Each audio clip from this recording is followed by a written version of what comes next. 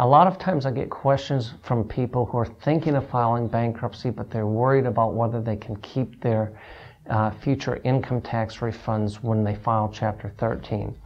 Chapter 13 cases generally last three to five years. Most of the requirements are, are that you cannot keep your income tax refund while you're in the Chapter 13 case. However, there are several exceptions to this rule. For example, if you allocate your future tax refund to the IRS for future tax liability, then the Chapter 13 trustee cannot object to you keeping that income tax return for the purpose of paying the IRS.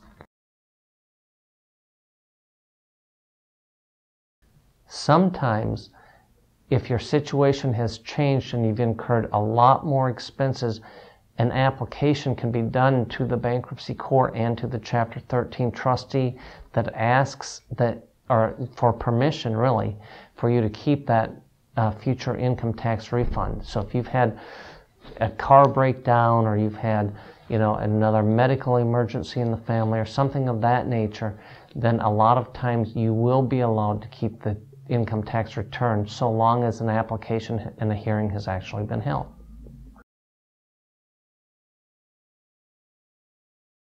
The reason that the Chapter 13 trustees generally will not allow you to keep your income tax refund is because the actual refund itself is considered to be what we call disposable income.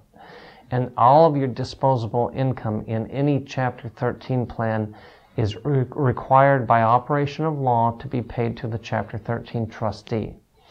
I know this sounds really super complicated or it may be unfamiliar territory for you, but if you have any questions about whether you can keep or you'll be entitled to keep your Chapter 13 or your income tax refund in a Chapter 13 case, please call me at 770 792 1000.